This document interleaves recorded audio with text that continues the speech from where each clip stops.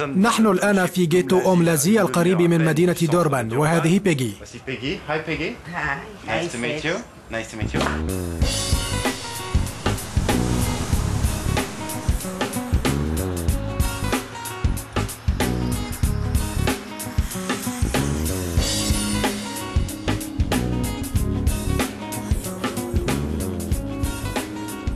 هذا بيتنا أو هكذا كان. اليوم صار فندقا صغيرا. هل يمكننا القيام بجولة في الداخل؟ بيجي قامت بتجهيز هذا الفندق الصغير على أمل استقبال بعض الحرفاء من المشجعين الذين سيتحولون مع منتخباتهم إلى جنوب أفريقيا. ولكن ورغم المجهودات التي بذلتها الا انها لم تتلقى حتى الآن أي عملية حجز ولو لغرفة واحدة.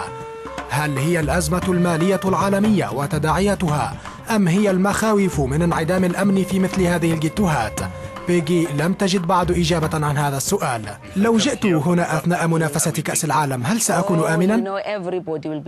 نعم الجميع سيعمل ما بوسعه لحمايتك. لقد استضفت سيدة دنماركية جاءت إلى هنا للقيام ببعض الأبحاث. وعندما كانت تتجول في الشارع الجميع كان يتوقف بقربها للاطمئنان عليها ويسألونها إن كانت بحاجة إلى مساعدة ما. ارتفعت عائدات تنظيم كأس العالم إلا أن بيجي لا تصدق ذلك وهي تقول على كل حال نحن هنا في أوملازي لن ننتفع أبدا بهذه العائدات. الناس العاديون هنا لن ينالوا من هذه العائدات شيئا.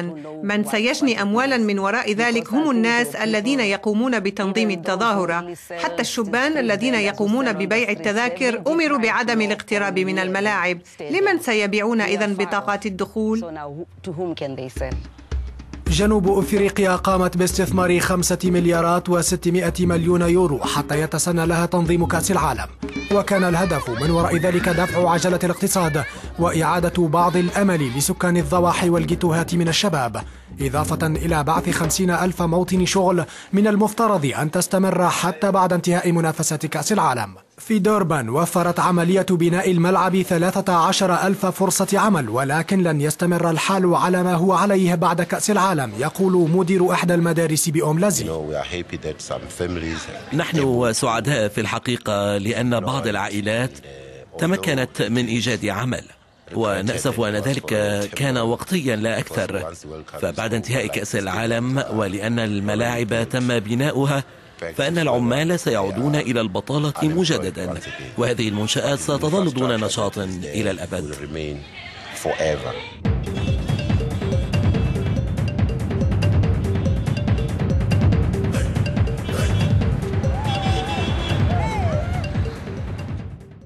العنف هو الهاجس الأكبر الذي يؤرق المواطنين هنا. خمسون عملية قتل يوميا في جنوب أفريقيا. ونصف السكان في هذه الجيتوهات يعيشون بأقل من دولارين في اليوم. في هذه الضواحي الحال لم يتغير. عما كان عليه زمن التمييز العنصري إلا أن الأمل لا يزال قائما.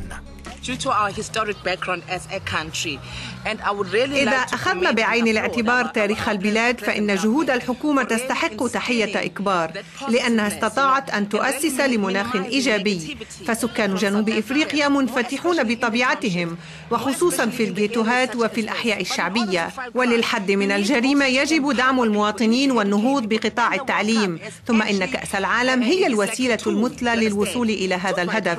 فعوض التوجه نحو الانحراف والجريمة فإن الناس بإمكانهم عمل شيء مفيد لأنفسهم ولصالح عائلاتهم ومجتمعهم.